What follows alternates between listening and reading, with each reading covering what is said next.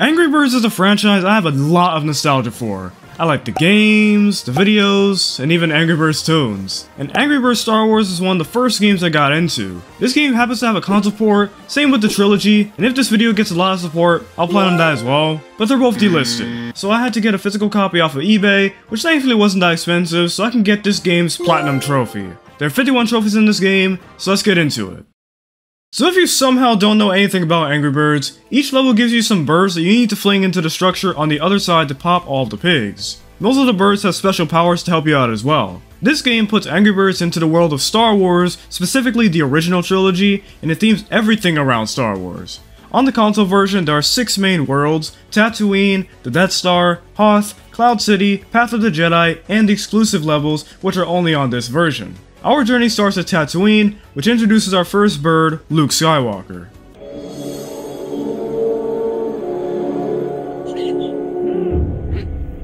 Well, that sound is nostalgic, man. I have not heard that sound in ages. In the first few levels, he's the same as the Redbird usually is, having no special powers. I got 3 stars on this first level, and now I need to get 3 stars on every level in Tatooine, and I have to do the same for almost every other world, but for now, I just wanted to beat the levels, and after completing the second one, I got my first trophy.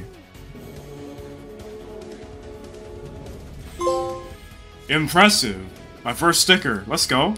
A few levels later, I'm introduced to Obi-Wan. He can force push objects, and I will need to push 2000 blocks for a trophy. Of course, I didn't get that trophy now, but I got a different one for unlocking my first secret. Thank the Maker. Later on, Luke gets access to his lightsaber, which does what you'd probably expect. And similar to Obi-Wan, I need to destroy 2000 blocks with it, but I had to start off small by destroying 50 blocks. Oh, Jedi Initiate. The trophy just kept on flying in, and on the same level, I made a stormtrooper shoot another trooper. There's no one here? Stormtrooper shot another trooper. Wait, he did? I didn't even see that. And I got another trophy on the same level, and this one was for collecting my 10th sticker. Most impressive. On the next level, I decided to try out the Mighty Falcon. You can use this whenever you want as long as you have a charge, and similar to the Mighty Eagle, it sends the Millennium Falcon to deal some big damage, and when you use it, it replaces the stars with the destruction meter, and I will need to get that meter to 100% 50 times for a trophy, but for now, I just got one for using it for the first time. Mighty Launch. I didn't even get that dude up top, I'm done. I'm horrible. During the same level, I also deflected 3 lasers with the lightsaber, which is a really good strat for getting 3 stars on levels, but it can be pretty wonky trying to get the lasers to go where you want them to go.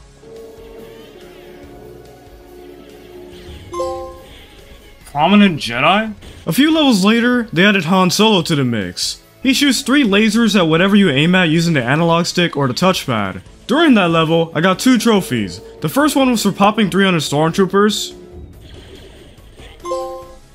Simple pigs and nonsense. 300 stormtroopers popped. Okay. And the second one was for completing my 10th level using only one bird. Oh, oh, oh, oh, oh. Let's go.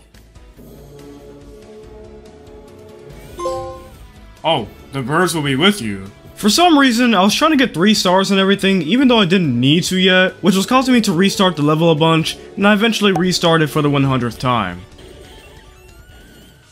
Nah. Lack of faith. I knew I was gonna get that soon. I already know what that's for. Oh, here we go. And it was worth it. It was worth it. And later, I decided to try to get 100% destruction with the Falcon again. Falcon escape. In the next level, I noticed this little thing down here. This thing is a golden probe. These are in some of the levels, and if you destroy them, which I did for a trophy, there we go, Probe Explorer. It sends you into a secret level where you play as R2-D2 and C-3PO. I will need to destroy 4 more of these for another trophy. And then I finish Tatooine. Okay. That's no moon. Alright, that's the end of Tatooine. A one- I ended up with a 1 star, but that's alright. But Death Star, baby. After I finished Tatooine, instead of moving to the Death Star, I decided to get the 4 multiplayer trophies out of the way. The multiplayer is completely local, so thankfully I didn't need to find a squad for it, and you can either play cooperatively or against each other. The first trophy was for playing a match with 4 players, which doesn't actually require 4 controllers like most people would think. You can just continuously press X and it'll register more players. I think this is if you want to pass the controller to other people rather than have 4 controllers. I also got another trophy for earning my first bonus score, which I'll explain shortly. Alright. There is no try. And well look at you. So during the levels, if I complete one of these 10 tasks, it'll show up when the level is complete. None of them were hard, but some did take a few attempts just because the level wasn't good enough to reach some of the requirements. So here are the trophies for 5 scores and all of the scores.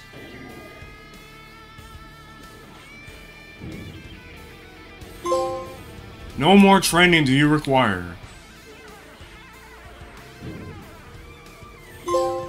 The force is strong, let's go!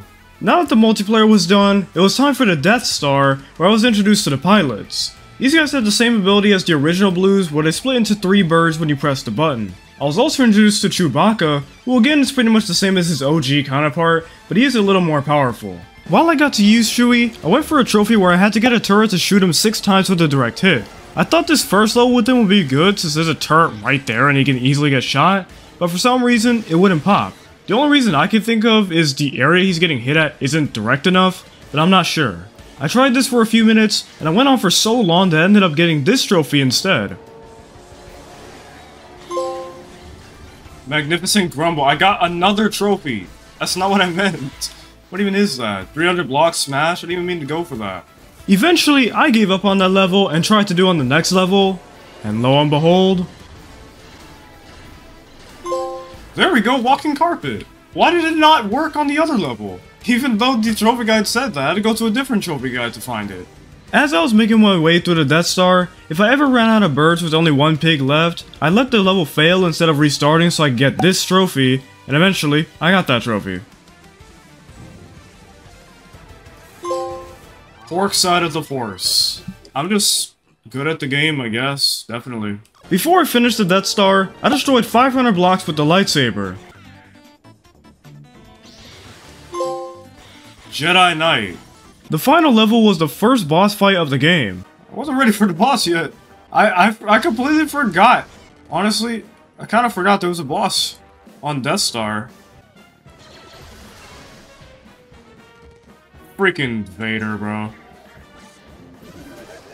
I beat it. I definitely not 3-star that, but... Disturbing Misobedience. Yeah, that was terrible. well, who cares?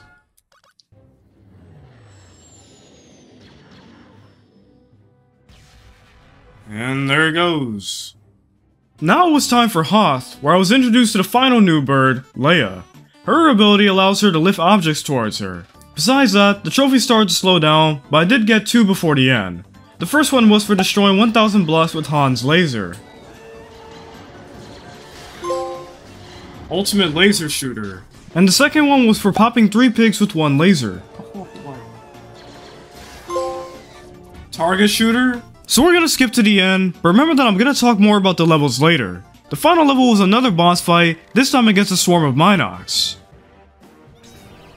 What did I just hit? Nah, reset on that, bro.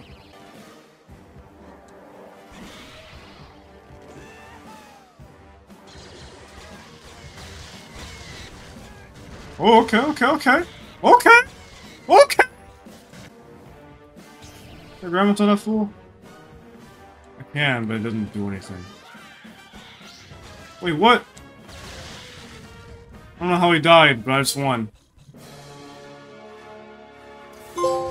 Transport is away. I three-starred it! Let's go! And we just came out of... A Sarlacc? I know it's an Exogorth, I just didn't know what I was talking about, that's all.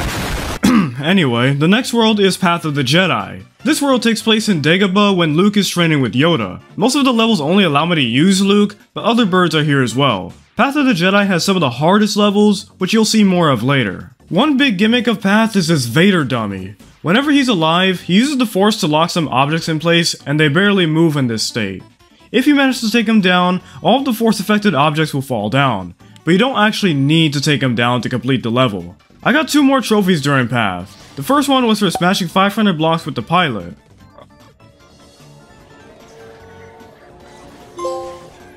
Skilled Pilot. The second one was for playing for 5 hours, which is one of 3 hour-based trophies. Finally! Finally, bruh! I knew once I got rid of that, that was an opportunity. I knew it. Starbird fan. Here's the final level. Sadly, it's not a boss.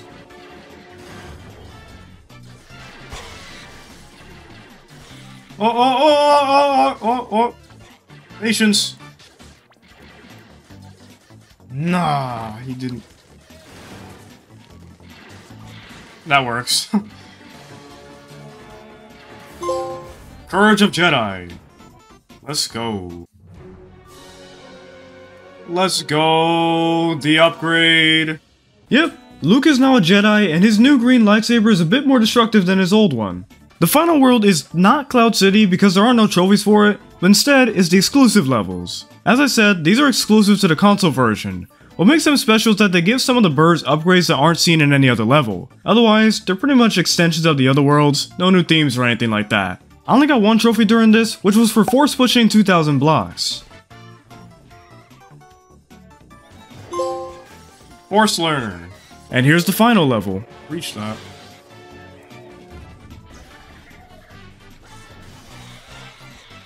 There we go. The circle is now complete. Hey, that's the name of the Force Unleashed 2 Platinum. and that's all the levels. Except it really isn't. This port only has half a Cloud City, which normally has 40 levels. It doesn't have Endor or Death Star 2. It would have been cool if they had these, even if there weren't any extra trophies for them, but I don't get why they cut the game short. But that's a topic for another day.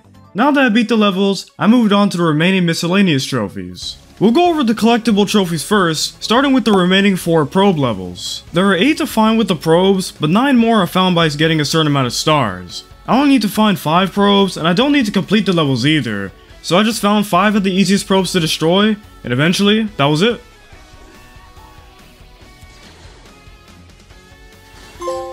Probe Gatherer, let's go.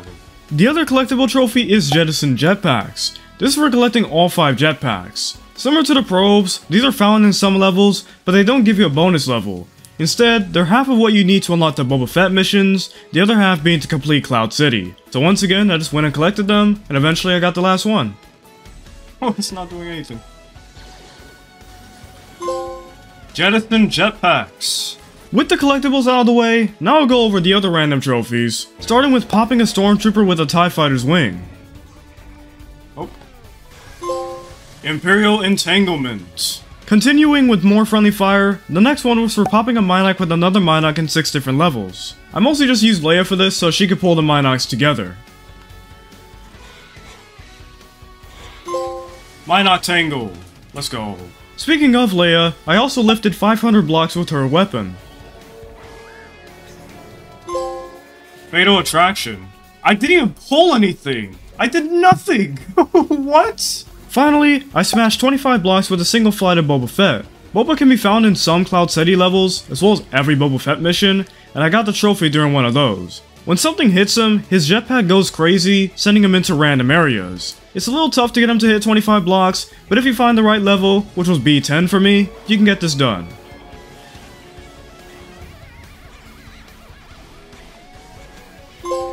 Blockbuster, there we go. There are four more miscellaneous trophies, but I got them during the next step. Before I started that step, I got the remaining 49 100% with the Falcon. I just repeated the first level over and over to do this, and I had 62 Falcons saved up. I got 100% 99% of the time. I say that because this happened once. 8. What? Bruh, that wasn't 100? How? But that never happened again, and I eventually got the last one.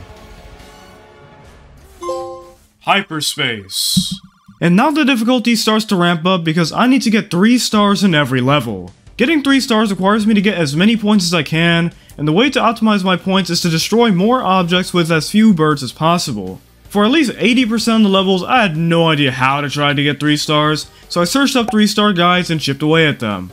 Now just because I had a guide doesn't mean that I was guaranteed to get 3 stars. I had to make sure I lined everything up properly, and I had to hope that things broke the same way as they did on the guide. There's surprisingly a lot of luck involved with this game. I started off with Tatooine, which had two levels that sucked. This one relied on this stormtrooper in the back to shoot the remaining pigs, while also not shooting itself too early or making me use another bird. But that moron did exactly what I didn't want it to do most of the time, and my bird would miss the fuse a lot. Another one was this one where I needed this glass block to fall down, but it just wouldn't do it. Of course, once it finally fell, I got the 3 star. That's pretty much how the experience went for every world. Things just not doing what they're supposed to do. Before I finished Tatooine, I destroyed my 2000th block with the saber. Ooh, Jedi Master. And then I 3-starred the final level. I think that's it. Tatooine All Stars. Let's go. Next up was the Death Star. The Death Star had some pretty annoying levels, mostly due to luck, but there's one level that really gave me a hard time. Look at this level. The strat is to get Han to shoot this block at an angle that allows it to bounce between the same block on the opposite side and also hit this TNT. Here's the thing, you need to be very quick to get that to work, and remember, I'm on a controller, so I can't just tap the screen to be as quick as possible, I gotta line up the shot first with this slow movement. I found that doing a quick swipe with the touchpad was the way, but doing that makes the shot very random. And even if the laser went to the right place, of course the game didn't let everything fall down properly, so this was easily in my top 5 toughest levels. Nothing else needs to be mentioned, that just takes the cake. I did get the 15 hour trophy though. Is that enough though? It is, and I got through Starbird Fan. Then I 3-start the boss level and I was done. Dang it. Oh wait, never mind. Was that it? Death Star All-Stars, finally!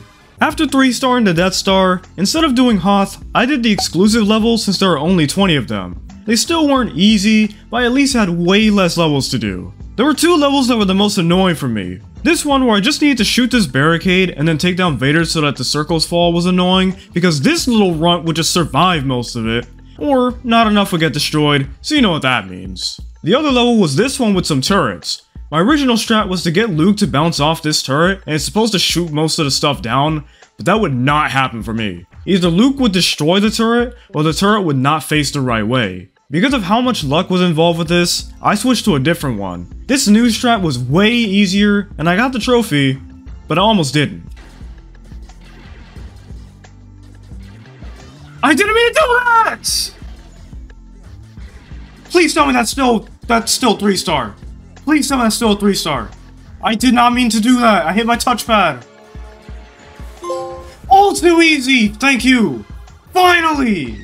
I ooh, if I would have hit my touchpad twice, I would have lost a three star, dude. I'll put the alternate strategy in the description. I don't recommend the one on the trophy guide. Every other strat in the video is good, but not the one for this level. Now it's time for Hoth. A common theme for Hoth is that one pig would survive when I finally get the strat right. This example right here is completely illogical. How are you alive? You're floating in space! That is not survivable, bro! Another example is this level. So the strategy was annoying enough, thanks to this fool. When I finally popped that fool, look what happened. This game sucks, bro. This game sucks. I finally get rid of that annoyance, and that dude's still alive. This game sucks, bro. Of course, I eventually got it, but I spent at least 30 minutes on that level alone. There was also this one where I needed to make the AT-AT do all the work for me, but getting him into the right spot was so bad. Before I finished Hoth, I fly my 5000th bird. Oh, fly bird fly! And here's the end. That works. That works for me. Hoth All Stars. Nice. Finally, this Path of the Jedi. Three starring path was pretty mixed. Some levels were easy, while others were pretty tough.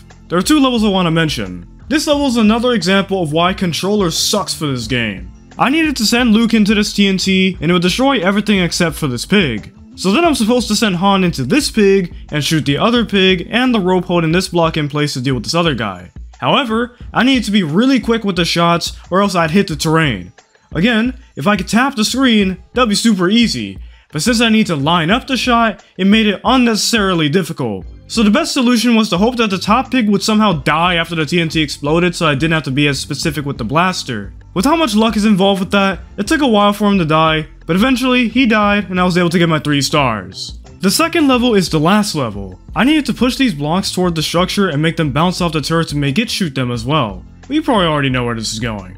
It felt really satisfying to get this tough level done and get my final 3 star.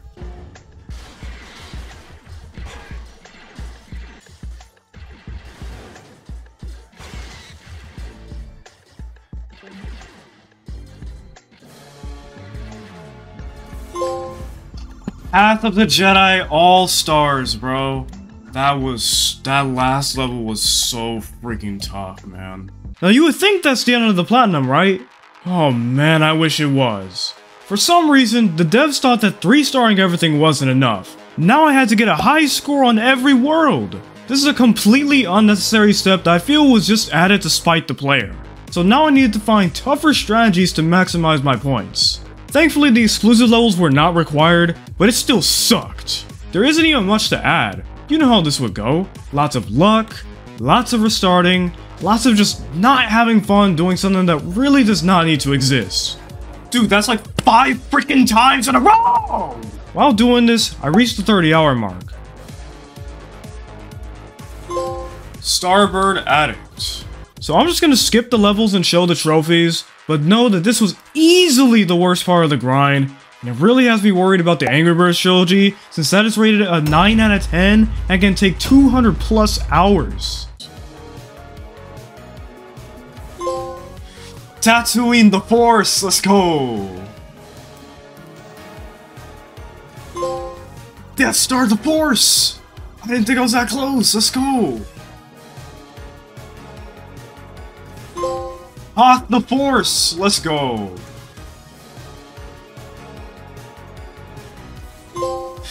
yes! Finally! Path of the Jedi, the Force, and... Congratulations! Let's freaking go, man! Finally, bro! It took me 41 hours to get this platinum. I hope y'all enjoyed the video. If you did, please consider liking and subscribing. This video gets a lot of support, I'll go for the Angry Birds Trilogy, which I'll probably regret, but I'll do it. And if you want to see another Platinum video, there's a video on the end screen, and I'll see you on the next one. Peace out.